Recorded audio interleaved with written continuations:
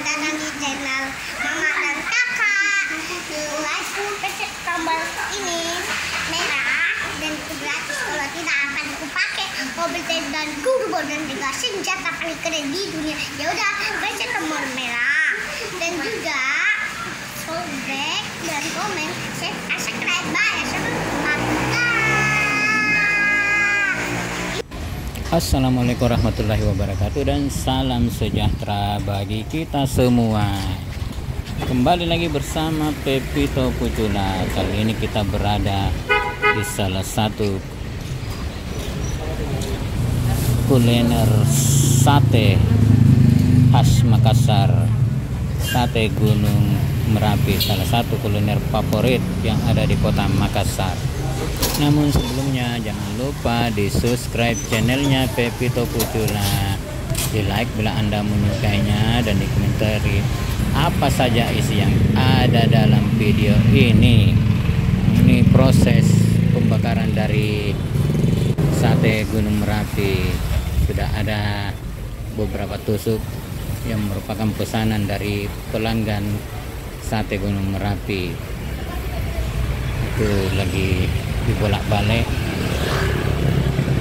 sambil dibakar supaya tidak gosong jadi rajin-rajin dibolak-balik oleh pelayang dari sate Gunung Merapi. Ada dua jenis sate yang dijual di sini. Harga mulai 4 ribuan yaitu sate daging sapi dan sate ayam. Selain menjual sate juga menjual palu basah seharga 15 ribuan lontong gogos dan kerupuk serta yang lain-lainnya. Sate gunung merapi ini tepatnya bernama sate gunung merapi Aji Sangkala tepatnya berada di pertigaan jalan gunung merapi dengan jalan sungai Poso atau tepatnya di jalan sungai Poso nomor 1 mulai buka pagi sampai malam.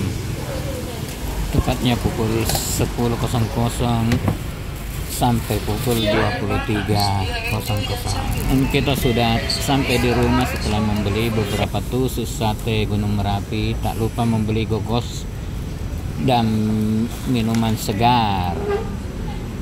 Nah ini gogos khas Makassar. Ada dua macam yaitu ketan hitam dan ketan putih beserta bumbu serundeng.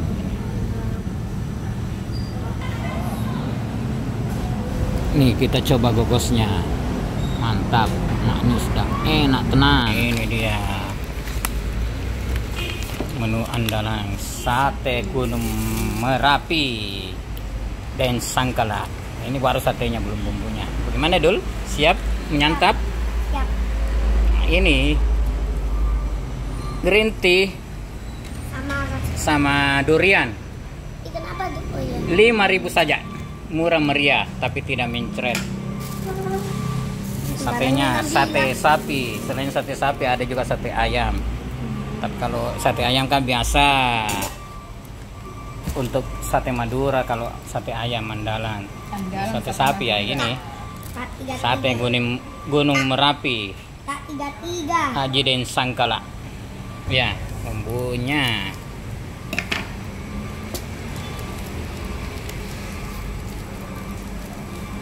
Kalau sate sapi ini andalannya, tapi kalau sate ayam, sate madura. Nah, sa- sa- kalau sate ayam ya sate Madura yang mantap. Nah, begitu. Wow, wow, wow, bumbunya mantap. Oh. Ini kelebihannya bumbunya ini Tidak pelit. tidak pelit. Nah, kayak sate Madura. Bumbunya sangat terbatas. Ini bumbunya mantap ini. Puas orang. Siram lagi. siram lagi oh perut jadi keroncongan bunyi tok tok tok tok tok tok ini sudah ditaruh dengan bumbu mantap bagi yang pengen pedas tambah dengan sambal. Nah ini andalannya. Dimakan dengan ketupat. Biasa juga dimakan dengan lontong. Nah, ini ketupat.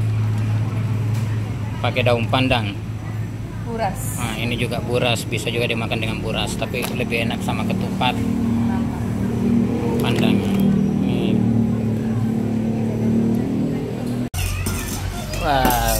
siap disantap. Wow siap disantap.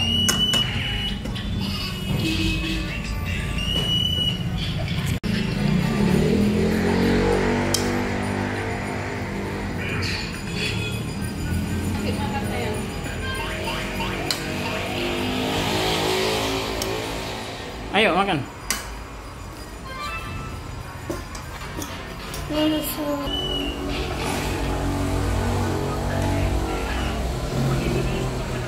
dul? Ya? Sate berapa dul? Satu. Dulu. Kasih bumbu? Banyakin tenang dulu banyak bumbunya. Hanya sate. Haji ratu. Ya haji sangkala nah,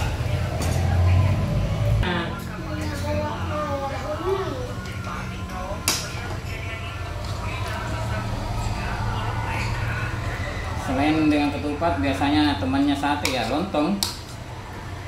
Nasi juga bisa. nasi juga bisa tapi lebih nikmat dengan lontong atau ketupat.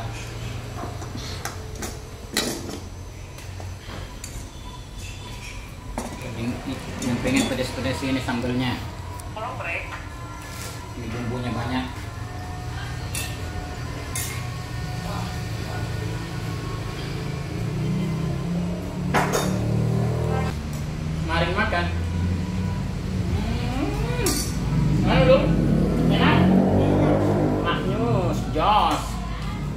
Dos?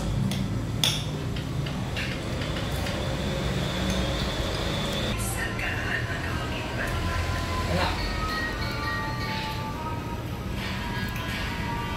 Ini loh. Makan bro. Ayo dul, habisin dul. Di sini ngaji ya.